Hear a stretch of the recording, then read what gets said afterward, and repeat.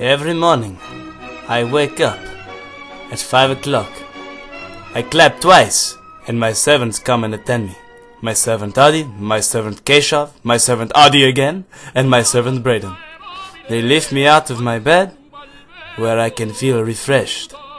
Then I make my way to the bathroom, where my servant Keshav comb my mustache. Then he flip the comb and he comb my eyebrows. It's the best. Then my servant Braden flip the cap, put on the toothpaste, and then he brush my pearls so I can look very shiny. It's the best. I love it.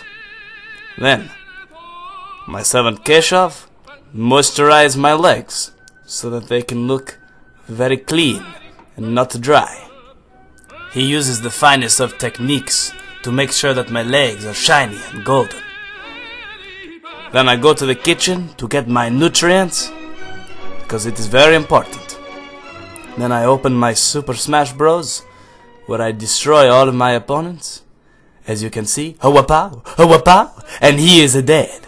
And then I look back and I see him and he looks very sad. He is there crying. He gets so upset he throw the controller. Then, as I get ready for my work, I leave one button unbuttoned so that I can look very much as sexy.